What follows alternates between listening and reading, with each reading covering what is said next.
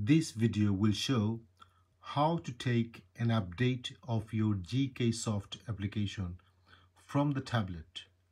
So obviously it is an Android tablet. You just press the circle at the bottom and you need to find Play Store. Since it is already added to the home page, it's showing up here. Otherwise you just slide it up and it should bring up the page and you would find it anywhere in this page. So as you can see the Play Store here we will either press from here or the uh, button from the home page. So since this application is already updated it is just showing open. If it is not updated it will ask you to update. Once you update just go back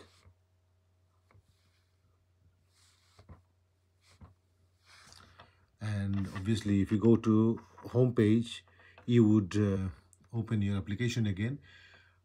But always remember after update you must clear the data.